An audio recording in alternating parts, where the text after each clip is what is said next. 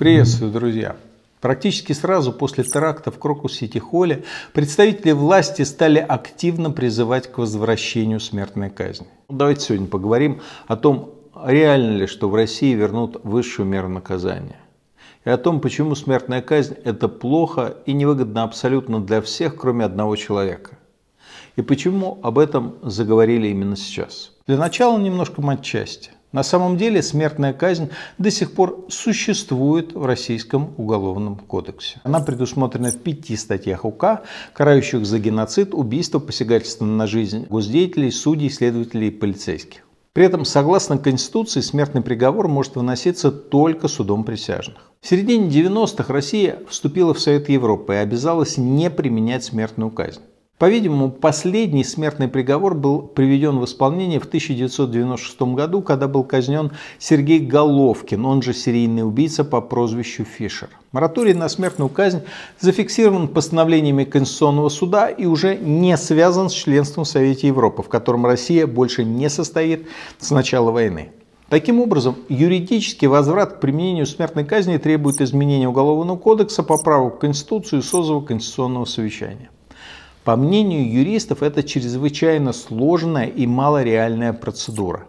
Однако, как мы знаем на примере поправок об обнулении, Путин может начхать на процедуру и законность, если ему очень надо. О том, нужно ли ему возвращение смертной казни, мы еще поговорим. А пока давайте я объясню, почему смертная казнь это в принципе плохая идея и вдвойне плохая идея в России 2024 года. Вообще смертная казнь – это узаконенное убийство пережиток прошлого. И в качестве наказания, для раскаяния, для своей безопасности современное общество вполне может позволить себе пожизненное заключение, которое во многом страшнее смерти. Первая проблема с высшей мерой наказания – это ее бессмысленность с точки зрения предотвращения преступлений. Принято считать, что угроза казни может остановить преступников, типа убийца, насильник или террорист, испугается жестокого наказания и откажется от преступных намерений. Статистика опровергает эту точку зрения. До сих пор смертная казнь применяется в 53 странах мира. Крупнейшие из них США, Япония, Тайвань, Сингапур, Китай, Индия, Индонезия, Пакистан, Саудовская Аравия – то есть 60% населения живет в странах, где смертная казнь разрешена. При этом уровень преступности в этих странах совершенно разный. Связи между наличием смертной казни и уровнем преступности в масштабах стран не существует. Мы можем сделать даже более корректное наблюдение на примере США. По логике, ведь в тех штатах, где смертная казнь разрешена, уровень преступности должен быть ниже, ведь убийцы, насильники там должны опасаться сурового наказания. В реальности все наоборот. В штатах, где казнь есть, количество убийств на душу населения заметно выше, чем там, где казни нет. Если я вас еще не убедил, то вот вам последний факт. В случае отмены такого наказания, как смертная казнь, количество убийств начинает сокращаться, а вовсе не увеличиваться, как можно было бы подумать. Таким образом, высшая мера наказания не работает как способ предотвращения преступлений. Она бессмысленна в качестве превентивной меры. Но помимо бессмысленности, смертная казнь еще и чрезвычайно опасна. Да, я говорю про такую очевидную вещь, как судебные ошибки. И не надо думать, что это какая-то редкость. За последние 50 лет в США 197 смертных приговоров были отменены. Это каждый восьмой из числа приговоренных. Причины отмены казни были разные. Пересмотр приговора, оправдание, помилование. Это не всегда было связано с судебными ошибками, но масштаб проблемы показывает хорошо. А есть еще более страшная цифра. 20 человек из числа казненных в США за последние 50 лет, то есть один человек каждые два года, считаются невиновными. 20 человек за 50 лет на 300-миллионную страну. Это как бы вроде бы и немного, но это до тех пор, пока не коснется вас или ваших близких.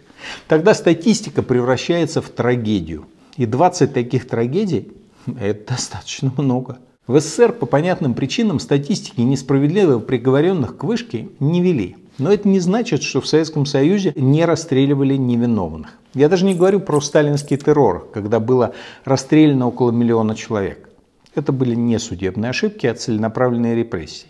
Ну и ошибки, когда и судили, расстреливали обычных, но невиновных людей, тоже случались не так редко. Вот в 1983 году в Ростовской области за убийство девочки был задержан, осужден и расстрелян Кравченко. Позже в этом преступлении сознался маньяк Чикатило. Кравченко реабилитировали посмертно. В 1980 году житель Витебского района Белорусской ССР Николай Тереня был расстрелян за серию убийств. Приговор в отношении него был полностью основан на показаниях его сожительницы. После казни Тереня убийства продолжились, и настоящего маньяка Геннадия Михасевича удалось поймать спустя несколько лет. От ошибок не застрахована никакая правоохранительная судебная система. Но проблема со смертной казнью в том, что эти ошибки уже нельзя исправить. А еще хуже. При некоторых режимах ошибки настолько возведены в правила, что это уже даже не ошибки. Почему вот возвращение смертной казни именно в России стало бы катастрофой? Первое – это обвинительный уклон судебной системы. В России доля оправдательных приговоров составляет 0,33%. То есть из каждых 300 приговоров только один оправдательный. Оправдательный приговор является пятном на карьерном пути судьи, поэтому почти никогда не выносится. По сути, обвинительный приговор выносится на стадии следствия. А теперь представьте, что результат приговора – расстрел. Вот просто по решению какого-то следователя. Нравится перспектива? Я видел много следователей. Так вот, мне не нравится. Кстати, уровень следствия – это вторая причина, почему возврат казни был бы катастрофой. Большинство уголовных дел базируются на показаниях, на признательных показаниях обвиняемых и на показаниях свидетелей. Как получают эти показания? В значительной степени под пытками или под угрозой применения пыток. И это давно ни для кого не секрет. Есть много расследований на этот счет, много даже видеосвидетельств. Все знают, в каком СИЗО есть пресс-хата, какой колонии пытки поставлены на поток. И практически нет человека, который через час-два, ну или неделю пыток не подписал бы любые показания, хоть против себя, хоть против друзей или родных. К тому же мы видим, что власть пытается легитимизировать использование пыток. Их уже по телевизору показывают с понятным расчетом. Вот вы настолько потрясены жестокостью теракта, что не будете возражать против пыток террористов. Так происходит нормализация пыток, их ввод в официальный оборот. А потом, когда пытать под камеры будут уже не террористов, то и возражать-то будет поздно. Тем более, что террористами в путинский режим считают не только и не столько боевиков с автоматами, но и писателя Акунина, например.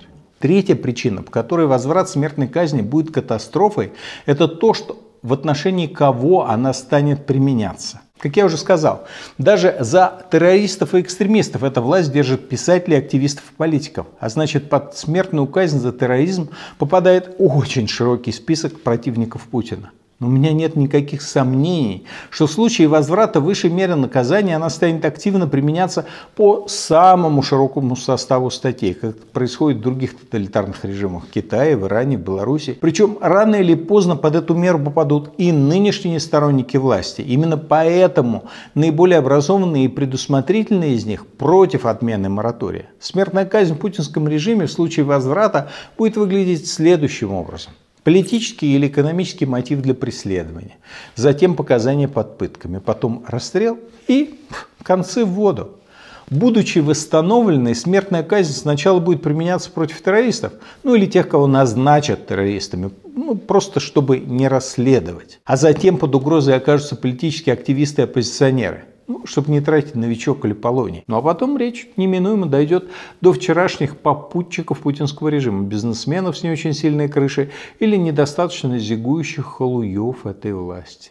Причем этого нет сейчас в планах. Но это неминуемо случится. Такая логика репрессий. Они не могут не дойти до бывших своих. Так бывает всегда и везде. Люди циничные, но умные из числа власти это понимают. Поэтому не торопятся поддерживать введение смертной казни. Персонажи поглупее думают, что их лично это не коснется. А поэтому на этой теме можно набрать очки. Они ошибаются. Вообще разговоры о введении смертной казни и прочее оскотинивание выгодно только одному человеку. Владимиру Путину. Выгодно потому, что здесь и сейчас ему нужно закрыть свой персональный величайший провал. Ему нужно отвлечь народ от осмысления теракта в Крокусе. Ведь Так-то получается, что победитель исламского терроризма, каким представлял себя Путин, вовсе не победитель. Получается, что о теракте предупреждали одновременно и США, и Иран. А Путин на предупреждение наплевал и дал команду своим нукерам наплевать. Получается, что обещанная им безопасность взамен свободы оказалась фикция, спецслужбы некомпетентны и коррумпированы. И вот чтобы отвлечь людей от этих очевидных выводов, нужно что-то вбросить в информационное пространство. И вот нам показывают кадры жестоких пыток и выносят на обсуждение идею с возвратом смертной казни. Причем Путин это, пожалуй, единственный человек, который может ее лично не опасаться. Он в любом случае уйдет с поста вперед ногами, либо по естественным причинам, либо вследствие потери власти. И от отмены моратория это никак не зависит. Если вы досмотрели до этого места, то, наверное, думаете, а что же мне за безысходную, безрадостную картинку здесь нарисовали? По счастью, это не совсем так. Как вы видите, пока на обществе только тестируют возможность введения смертной казни. И многое зависит от нашей, то есть общества, реакции. Как сопротивляться? Да хотя бы говорить о своем несогласии, распространять честную информацию о том, чем грозит обществу попытка властей вернуться к практике смертной казни. Такую информацию, как это видео, например. Счастливо вам! Путинский режим тянет страну в средневековье, но всегда есть выбор, сопротивляться этому или нет.